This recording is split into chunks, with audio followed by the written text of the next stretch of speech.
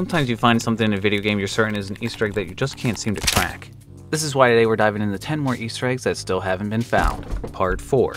Brought to you by NordVPN. Go to nordvpn.com slash oddheader to get a two-year plan plus a bonus gift with a huge discount. Risk-free with Nord's 30-day money-back guarantee. Deathloop. Thanks to Hop for submitting this discovery on oddheader.com. Deathloop is Bethesda's newest slick first-person shooter released less than six months ago in 2021, which follows an assassin stuck in a time loop on a mission to kill eight targets on an island before midnight, or else keep repeating this day infinitely. Hop was very appropriately hopping around this manner that only appears at the beginning of the game, when unexpectedly in this random corner of the environment, they heard a strange sound.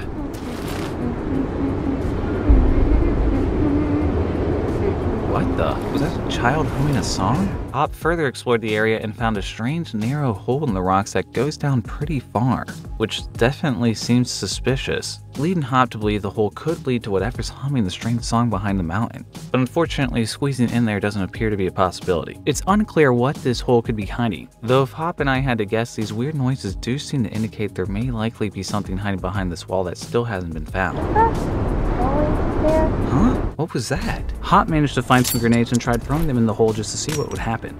And, well, after that he didn't hear any more noises, so I guess whatever was over there isn't over there anymore. Maybe that wasn't the best idea.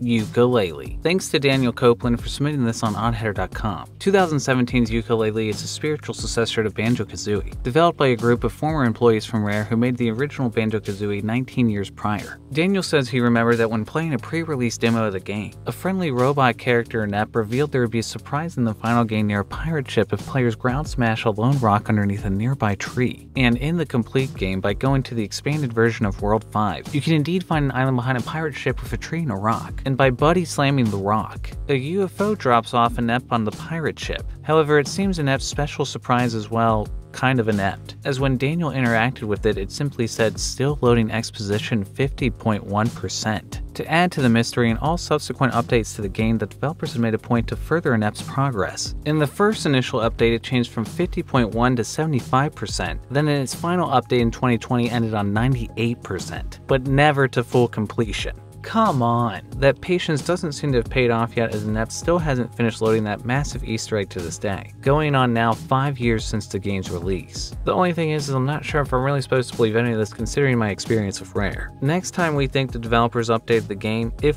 they ever do at this point, it's probably going to be at 99.999999999% just a toy with us. Sonic Mania. Thanks to Bob Billans for submitting this through oddheader.com. 2017 Sonic Mania is a homage to everything great about the original Sonic games, which was first announced at the Sonic 25th anniversary party at San Diego Comic Con the year before the game released. And to say that the event didn't exactly go smoothly would be putting it lightly, which pretty much nailed the definition of the show. The party included many memeable moments, including technical mishaps, long intermissions. You understand what I'm doing here? We're stalling. Sound dropping out during important game announcements. So much information we want to whatever this is. This. World debut of the Totino's stuffed nachos. And this really loud, annoying ass buzzing sound that ran through the entire event. Hey, buddy, you calm down for just, just one second, all right? Let me finish. However, near the end of the event, Sonic developer Takashi Iizuka came out and asked the crowd to help him recreate the famous Sega sound that opens up at the beginning of all the Sonic games, telling them that he would include the recording of their yell as an Easter egg in the game. To this day, the Easter egg has never been found, though maybe that's because the recording wasn't exactly what they hoped it'd be considering that awful noise. In an unexpected move, however, it turns out Sega may have had the last laugh, as they did implement another Easter egg from the anniversary show that has been found, as after beating the second boss in Studiopolis, a giant TV screen that looks very similar to the one used in the 25th anniversary party, loses signal at the end of the fight and if you listen very closely, you can hear that obnoxious buzzing sound that overtook the event. My only hope is the original Easter egg still remains in the game waiting somewhere to be found. But if anyone does want to go poking around turning up the volume at any corner that they can, looking for somewhere this Easter egg may have been hidden, just prepare to brace your ears. SSX Tricky. Thanks to hacker and YouTuber Sly Cooper Reload Coded for submitting this through the Oddheader Discord. SSX Tricky is the second title of one of my favorite series of all time, which you may have noticed from my every SSX game ranked video. Tricky came in second for being a more energetic and vibrant take of the original SSX, taking the courses and turning them into more seemingly drug-induced concoctions, such as the classic Aloha Ice Jam which takes place on an iceberg dragged to the shores of Hawaii so you can race down it while it melts, which hilariously had these super animated penguins scattered across the shortcuts. SSX Tricky remixed the track by adding lots of new stunts and shortcuts, meaning even more penguins. Yet one possible super secret shortcut on the map has never been found that Reload Coded learned of after he posted his SSX iceberg of interesting tidbits to the SSX Reddit. A TBT Synchro suggested another tidbit, revealing there's a shortcut on Aloha Ice Jam that I don't think anyone has found. Instead, he wasn't going to give it away because he hoped someone would find it on their own one day. Sly Cooper Reload Coded aka GoodyFire11 on Reddit looked the map up and down and asked around the speedrunning community and found nothing, leading him to express extreme doubt on TBT Synchro's claims. TBT, however, revealed he actually worked on the game, and as proof, he pointed in the direction of an unlisted video he posted before that showcased exclusive outtakes of Mixmaster Mike and Rahzel in the studio, who both made exclusive tracks for the game and voiced characters, which also contained some moments that EA would likely never officially release. I ain't got time for your ass. Step the back. no, I can't say. Talking with him further, Reload Coded gathered that TBT has scoured every YouTube video about the course, even speedruns and glitch videos, and no one has ever come close to finding the secret shortcut. At the time of this video's release, no one has ever managed to get a no-clip or camera hack of the game, or apparently has ever fully devoured the map in some way that we haven't already. So we really don't have any way of knowing for sure this shortcut is really here. Unless, of course, we find it. For all we know, it could be a whole secret stash of these really animated penguins, and if that's the case, we're totally missing out. As I'd love to go snowballing with more of these guys. Mortal Kombat Deadly Alliance. Thanks to Andrew for submitting this through oddheader.com. Mortal Kombat Deadly Alliance is the fifth installment in the main line of the long running fighting series with the largest amount of numbered titles, and possibly even Easter eggs. In fact, this isn't even the first time Mortal Kombat has shown up in one of my Easter eggs that haven't been found videos. In a now archived IRC chat from 2002 with the game's developers, hosted by the website Mortal Kombat Online, previously known as MK5.org, assistant producer Paulo Garcia randomly let it slip during the Q&A. There is at least one secret that is not known yet on all the platforms. As far as I know, no one has found it yet. What really sparked Andrew's curiosity was nearly 30 minutes later. Paulo said completely abruptly, The secret is in the coupons? Complete with the question quotation marks, and never further elaborated, leaving Andrew to wonder if he maybe meant it for a different private chat window. Later, when a user asked for a hint in unlocking the secret, the game's software programmer Rachel Blum said keep trying all sorts of places for button combos. And now, here we are nearly 20 years from this chat, and the Mortal Kombat community still doesn't seem to have any clue what this final secret might be or where to input a button combo if it does exist. Game director Ed Boon also spoke a little later of a version code sheet that would display the version number of the game on the screen if entered correctly. That's also apparently never been found. Although Ed Boon later clarified the version code sheet is not the same as the final remaining secret that was originally spoken about. Andrew believes most people forgot this Easter egg reveal ever even happened, and hopes with this exposure either of these Easter eggs could possibly put to bed this childhood mystery he's had for so long, especially considering the game's 20 year anniversary is coming right around the corner this November. So if anyone has any idea what the final secret may be or how to find it, please, what does this all have to do with coupons?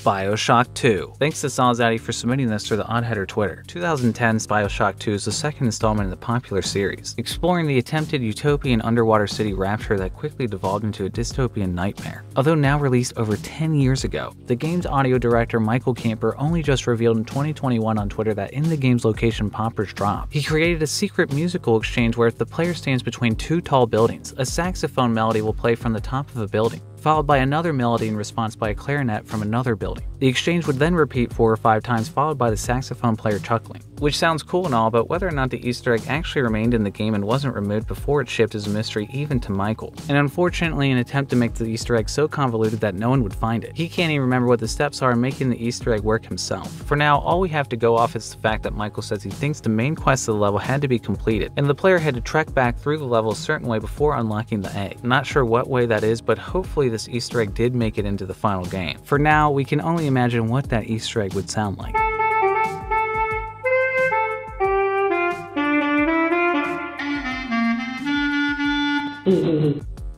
Rare Game Boy titles. Thanks to Lerako at raregamer.co.uk for submitting this on the Oddheader Discord. As mentioned earlier in the video, Rare is an iconic and rather trollish British game developer known for many classic titles such as Banjo-Kazooie, Donkey Kong Country, Conker's Bad Fur Day, and It's Mr. Pants. However, in a move that's stranger than naming a game It's Mr. Pants, turns out something I totally didn't know until Lerako told me. Rare developers have apparently been hiding secret cows as an inside joke in many years worth of Game Boy releases, beginning with Rare's first Game Boy Color release, Conker's Pocket Tales. Some cows they've really gone out of their way to include in the game, such as this one in a bonus room in Donkey Kong Country Game Boy Color. This cow etched in the sand in Banjo-Kazooie Grunty's Revenge, or the cow in Mickey's Racing Adventure that would be missed unless the player skirted around the edge of the track. So far, cows have also been found in Mickey Speedway USA, Perfect Dark, Sabre wolf and our favorite, It's Mr. Pants. With the secret cows hidden so well and many of Rare's titles begin with their first release on the Game Boy Color, Lerako says it's safe to assume the secret cows are also hidden and still waiting to be found the rest of Rare's Game Boy Color and Advanced library, who's a pretty trusted source on all things Rare.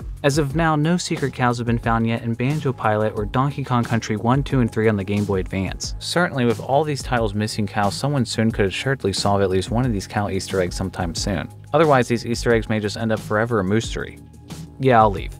Gears of War 3. Thanks to Luke Hillman for submitting to me what I believe is the first mission I've covered through the Odd Header Instagram. Feel free to follow me on there. Before you do, please subscribe here as it's really the best way to support more content. Gears of War 3 is the third installment in Epic Games' highly popular Xbox staple, going on to be one of the most popular Xbox 360 games of all time when it was released in 2011. Despite the enormous player base, one Easter egg remains in the game that still has hardcore fans of the series still scratching their heads to this day. As on the game's map The Slab, a multiplayer map in a prison included as part of the DLC Phoenix Rising, players can find a ball for Thrash Ball, a sport in the Gears universe that they can kick or shoot across the map and eventually manage to slip inside this little hole in a gate obstructing someone in an electric chair, which triggers some intense music while a rat scurries out of the hole. And if you shoot the little guy, the screen covers in blood followed by an especially creepy laugh.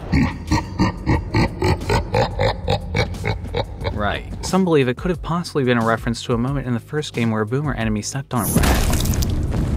However, if you weren't to shoot the rat, in addition to the creepy laugh, you would hear a studio audience laugh track.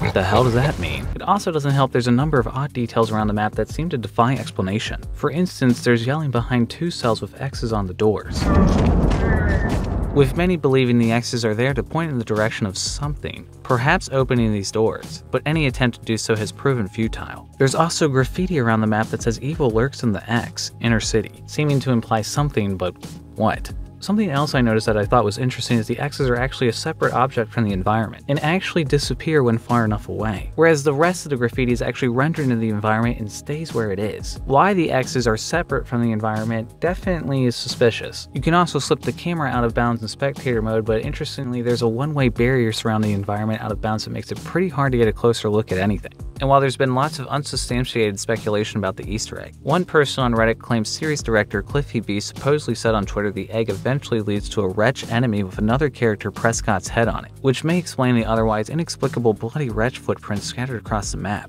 The only problem with this though is why I did find some references to the wretch head Easter egg on Twitter, Cliffy B suspiciously appears to have deleted any tweet about the Easter egg that he made throughout the years. However, a thread he originally replied to on December 14, 2020 appears to be the most revealing of all as Brandon Mack asked Cliffy if there was more to the egg, and from context clues said he wasn't the one to ask. When Brandon asked who he should ask, it appears he tagged lead level designer Jim Brown, who's never given any answers in the years that he's been asked about the egg, except this time he finally revealed. To be honest, I don't recall the extent of that particular Easter egg or how far people got. Keep that dream alive. Well, we pretty much have to, because after all these years of searching, really hope there's more to this than just blowing up some stupid rat.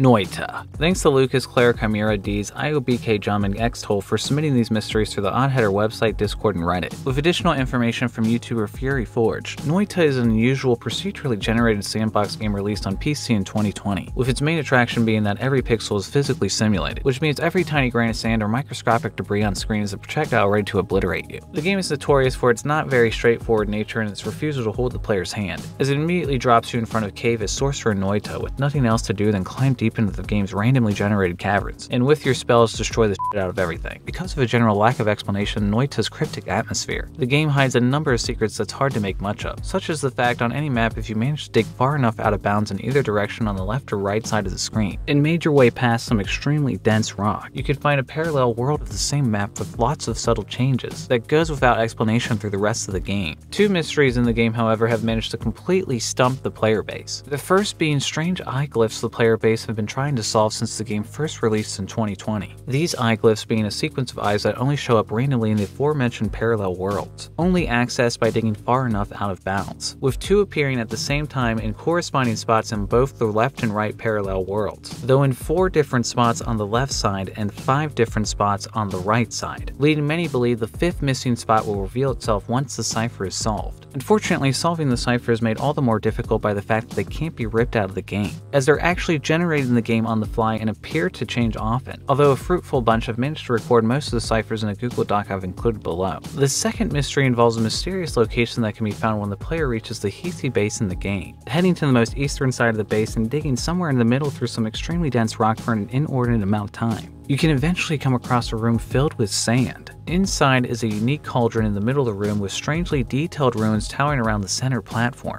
all of which once again can't be data mined from the game because it's generated on the spot in real time by the game's procedural engine. Though it was determined in the date of the game, the cauldron is mainly set to fill with void liquid every few days, which leaves it in a destroyed state the moment you find it on those specific days. To add further suspicion, if the player were to install any mods, both the eye glyphs and the cauldron room are actually programmed to not appear at all, seemingly implying that the creators really don't want anyone modding or hacking so they can get the solution that easily. Fortunately, the Noita developers drool and hackers rule, as hackers wondered what would happen if they got the mods to work if they were already inside the cauldron room, only to find out that the only thing that changed was the rock slab behind the cauldron suddenly disappeared. What that means we're supposed to do is not clear. What is clear is we have incredibly hard to crack mysteries that appear in incredibly hard places in an already incredibly hard game, which the developers have made all the more incredibly hard by making it impossibly hard to data mine the game.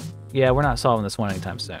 The Button Witch. 2020's The Button Witch, available on Steam, is a cute as a button point and click adventure by indie developer D Dreams Games. And this game may just hold the ultimate Easter egg as developer Jay reached out to me to let me know that this little guy exists somewhere in the game. This is rather surreal. Now, I'm an Easter egg that hasn't been found for years, and I couldn't be more honored. Though some may say this isn't the first time I've been featured as an Easter egg, but truthfully, I do need your help as not even I have any idea how to activate the egg myself. All I got is the animated character in this flyer Jay sent me that he says holds some sort of clue to finding the Easter egg. Whoever finds it will certainly be lucky, as they'll definitely hold the title in my book for finding the oddest Easter egg of all time. Well, I guess now I know how it feels for someone to take my identity and use it for mysterious purposes, which if that's a feeling you don't want to feel yourself, you might want to check out NordVPN. NordVPN masks your identity so that you can surf the internet safely and securely, using next generation AES 256 encryption, recommended by the NSA to secure top secret data. And if you're ever blocked from watching your favorite content when traveling abroad, NordVPN has got you covered. Stream securely and change your virtual location with a click at more amazing speeds than ever, thanks to NordLynx. Can't get a game in your country? No problem. Just change your virtual location and unblock your favorite games in geo-restricted servers. Plus, game securely by avoiding DDoS attacks, block malware-ridden websites, and secure browser traffic without affecting latency. NordLynx uses optimized servers confirmed by the latest speed tests, with next-generation encryption and zero-click security. Use it to stay secure on public Wi-Fi, skip annoying ads, and be safe from botnet control. Go to nordvpn.com slash oddheader to get a two-year plan plus the bonus gift with a huge discount. It's risk-free with Nord's 30-day money-back guarantee. That's nordvpn.com slash oddheader. Risk-free with Nord's 30-day money-back guarantee. If you enjoyed this video, please subscribe. And if you know of any more Easter eggs that haven't been found, submit through oddheader.com, come join the Discord, or even send me a shout through Twitter or Reddit. Shout out to Alexander Knight, Angel the Fox, Ash Photography, Andrew FM, Chad Biscuits, Grow Ups, Combat 15 Bowl, Dear Mid Crowley, Ed Moffat, Eddie Talkspin the Bleach Primit, Fox M Cloud 123, Frosted Flakes, Lucky 7, Miss Arctic Foxy, Nikki Forever,